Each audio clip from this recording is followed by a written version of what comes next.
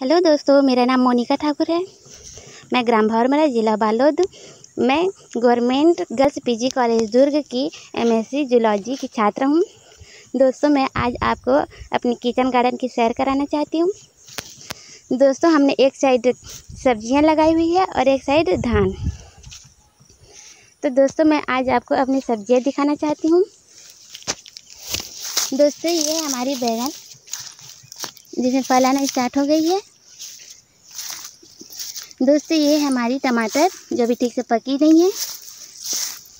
फिर उसके बाद हम आपको दिखाते हैं कि हमारी नवल गोल दोस्तों, हमने ये सब कंपोस्ट खाद को भी उपयोग करके बनाई है।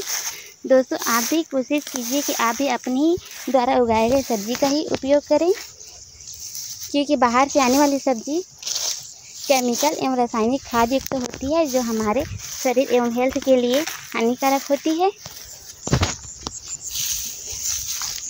दोस्तों, ये हमारी करेला।